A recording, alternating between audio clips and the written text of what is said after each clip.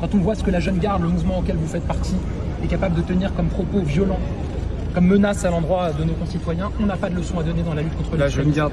La pas lutte contre l'extrémisme, la lutte contre- l'extrémisme, elle est incarnée par des femmes et des hommes qui incarnent les valeurs de la République comme. Malika, certainement pas par vous qui nourrissez l'extrême droite. Vous n'avez eu un, pas, pas un mot pour les morts du Hamas. Vous n'êtes pas capable de dire pas c'est une organisation terroriste. Bah, Est-ce que le Hamas est une organisation Le terroriste Hamas est une organisation dont on ne soutient pas. D'ailleurs, on combat le régime que des Mollahs.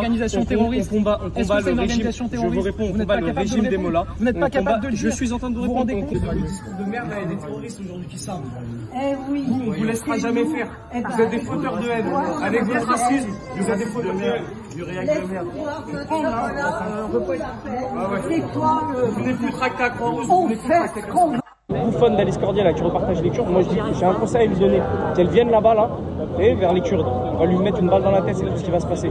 Et, et Nemesis nous, tu les soutiens Je soutiens certaines de leurs idées. Voilà, et l'action française et tout, nickel quoi. C'est-à-dire qu'il y a des terroristes qui sortent de ces organisations, ça pose pas de problème. Non, il n'y a pas de terrorisme. Y a pas de terrorisme C'est ça Ah votre ouais problème.